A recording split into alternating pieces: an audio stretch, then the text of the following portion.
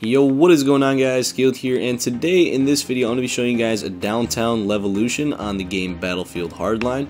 And you need to be on the map downtown. So this is the levolution, I'm going to show you guys how it works. Basically, uh, all you need is a launcher. There's three of these that you have to take out. You can see where the uh, wires kind of hold on to. There's one over here, one over here, one over there. I'm going to show you guys. You're going to take out this one. I'm going to ride my bike over here to the next one just to make the... Uh, time a little shorter instead of running around. So you got another one over here. You're gonna take that one out. All you need is the uh, launcher to take them out, or a grenade, or something like that. Moving on to the third one. It's up this uh, ramp over here, the highway ramp. And I'm going to show you guys what happens when it falls. So after you shoot the third one right here, the building, the thing is going to fall.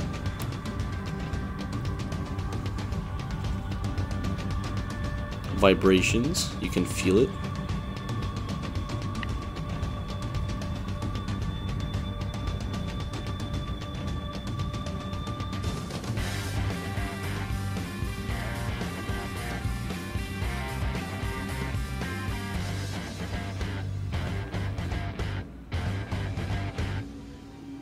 And that is the Levolution for Battlefield Hardline's map Downtown.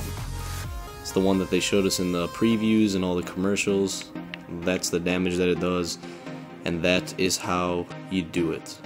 So thank you guys for watching. It's been SkilledWacky. Make sure to rate, comment, favorite, and subscribe if you enjoyed the video. And I'm out.